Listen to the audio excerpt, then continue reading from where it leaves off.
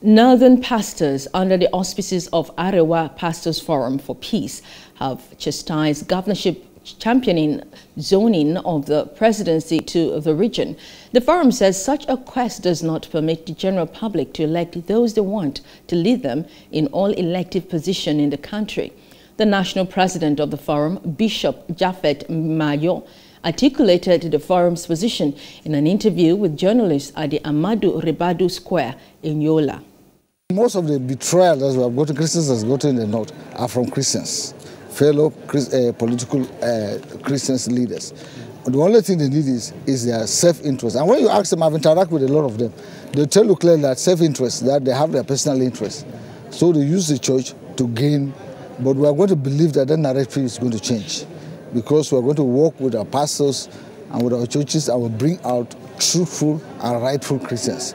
Because I remember that in the last 2015 elections, when the current government was going to come on board, the people they meet were the ministers' forum in the north. They didn't meet CAN. But immediately the thing finished, there was an exchange. And the reason is I hope they couldn't go and get the real people that will stand for them, but they decided to cope in their friends but it doesn't matter. But what we want to do is we want to say that 2023 must be a defining moment for any Christian politician, a true Christian politician in the North. A clergyman from the United States, Bishop Daniel Garza, says the church needs to be united for the body of Christ in Nigeria to reach its desired place. Be more, more in unity, have more, more freedom.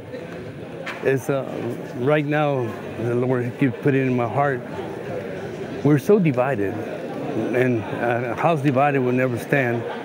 And God gave me a scripture for today, Hebrews 12, 14, that without peace and holiness, we will not see the Lord. So peace is Jesus, holiness is a relationship. If we put it together, we'll have the, pre, the, the peace and the love that we need. So people need to open their mind and understand. There's a big, showed me today, last night, in a big dream, there's a big spirit of a big serpent is loose it's been unleashed. And that serpent is, a, is deception, it's lies. People have been lied. It's time to come to the truth, and the truth is Jesus. And Jesus will set us free. Hello. Hope you enjoyed the news. Please do subscribe to our YouTube channel and don't forget to hit the notification button so you get notified about fresh news updates.